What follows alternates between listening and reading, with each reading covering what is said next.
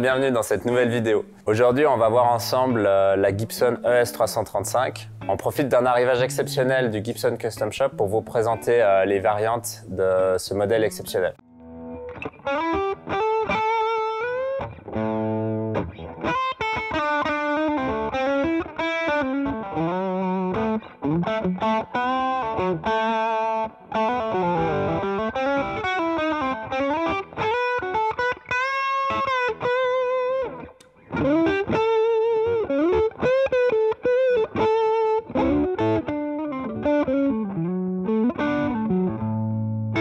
On va voir maintenant les euh, millésimes de la fameuse ES335 avec euh, le modèle de 1959, donc une année après l'apparition la, du premier modèle, qui euh, est en finition naturelle avec un vernis nitrocellulosique qu'on va retrouver sur toute la gamme ES335 de Gibson et un finish Sunburst.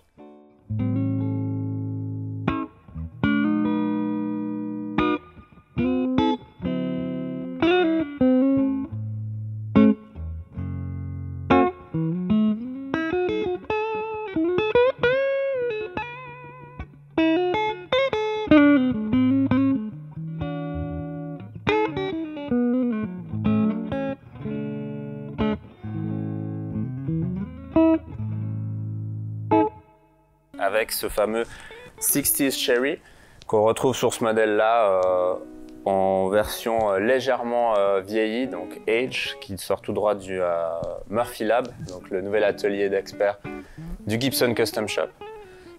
donc quelques modifications assez intéressantes sur le modèle de 61. Pour suivre la tendance qu'on voit sur beaucoup de fabricants de guitares à cette époque-là, il y a une demande assez forte de la part des musiciens, des guitaristes, d'affiner un peu le profil du manche pour pouvoir jouer avec plus d'aisance. Donc pour les amateurs de manches euh, vintage, favorisez plutôt un modèle de 1959 si vous voulez avoir un profil assez large qui tient bien en main. Si vous êtes plutôt un adepte des manches assez fins, typées euh, justement slim taper, favorisez plutôt votre choix sur le modèle de 61.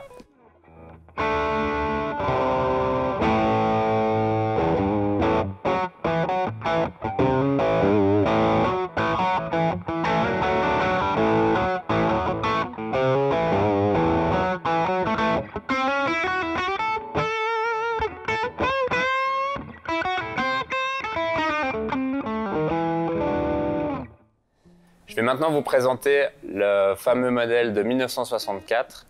Ce modèle euh, est peut-être l'un des plus iconiques de la gamme car c'est là où on va retrouver les fameux euh, repères de touches en forme de trapèze, la finition Sunburst et 60 Cherry va, euh, qui va rendre ce modèle particulièrement populaire, particulièrement reconnaissable grâce à, cette finition. Et les pontets en nylon qu'on va retrouver peut-être que sur ce modèle-là, euh, sur la gamme Gibson. En tout cas, c'est quelque chose d'assez rare pour le, souligner. Par rapport au modèle de 61, la 64 est généralement un petit peu plus bas médium, un peu moins tranchante, euh, ce qui en fait un modèle de prédilection de, beaucoup de guitaristes euh, qui aiment ce style de guitare, qui aiment le jazz, le blues.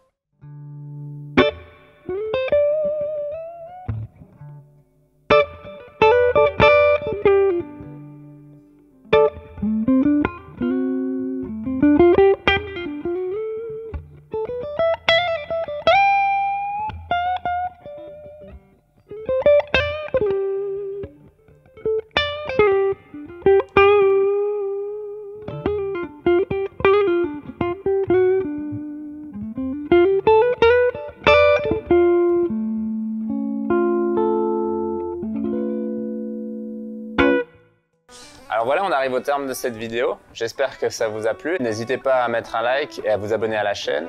Et c'est avec plaisir qu'on vous accueillera au magasin pour essayer ces instruments. A très bientôt. Ciao.